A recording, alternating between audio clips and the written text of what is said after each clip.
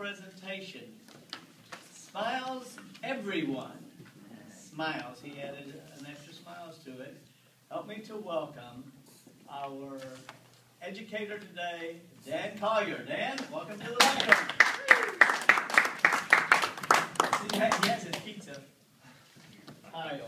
Mr. Toastmaster, ladies and gentlemen, good morning. Smiles, everyone, smiles. As I was growing up, there was a television show called Fantasy Island. And on this island, everybody's fantasies came true. Well, as Z-Plane approached this island every week with the guests who were going to stay there for the week and have their fantasies come true, the boss, the leader of the island, Ricardo Montebello, would Montalban. Montalban, Montalban, would instruct his crew, his team, to prepare for the guests in such a manner. Smiles, everyone, smiles. Mm-hmm. Now, today I'm going to tell you why your smile is imperative in your role as a speaker and communicator, why it is vital in your role as a leader. And then I'm going to ask you to participate in a little exercise whereby you will find your most impressive smile ever. All right. Now, starting with communication, whenever we, whenever we look at somebody and create a facial expression, we are in fact putting together a packet of information that is received, read, and interpreted. And the smile is the most basic human contact. As a speaker, the most important thing you can do is connect with the audience. The fastest way to connect, fastest way to connect is with a smile. Think for a moment. Jose Luis. What do you think of? That smile when he comes up here and connects with you. Yes, that is the fastest way to do it. And when it comes to leadership, many of you are leaders in your work or in the community. If you are not a leader today, you aspire to be, and that's why you're coming here, is it not? Yes.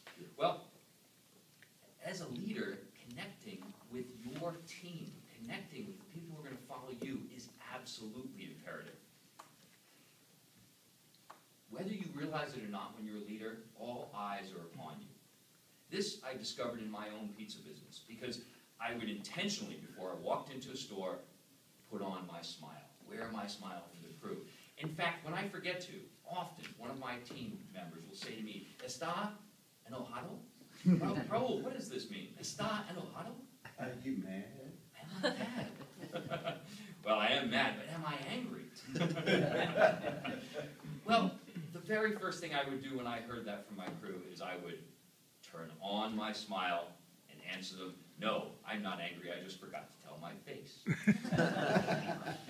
now, how is it that you are going to find your best, your most powerful smile ever? With an exercise that we're going to go through right now. There are 43 muscles in your face. And just like any muscle, for it to work, for those 43 muscles to work well, you have to stretch them first. If you're going to run, for example, you stretch your legs. So we're going to stretch the 43 muscles in our face to find our best smile ever. Now, I don't recommend doing this in front of other people.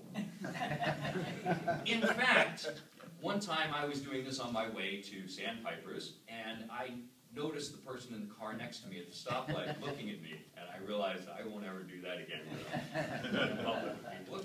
However, if we're all doing it, then we're not foolish, are we? Now, to demonstrate, I will go first. What I'm going to do is I'm going to smile. Then I'm going to exercise the 43 muscles of my face in the most intense smile that I can come up with. And we're going to do that for 15 seconds. And at the end, I'm then going to try that smile again. Right after my cramp, I recover. I'm going to try that smile again. You will discover how powerful that smile can become. So we begin by testing our normal smile. Then I will demonstrate with a very strong smile. All 43 muscles.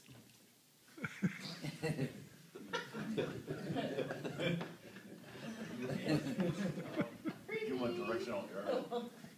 Okay, we do that for 15 seconds, and then we relax and we smile again.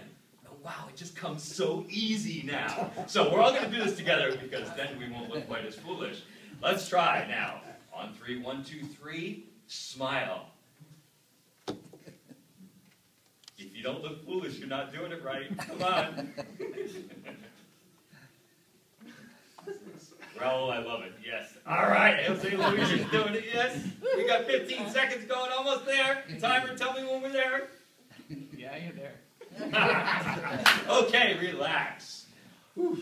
Exercise those. And now try that smile again. Doesn't it come a lot more easily now? Absolutely, especially first thing on a Sandpiper, Sandpiper's morning. So, your smile absolutely essential in your role as a speaker and communicator.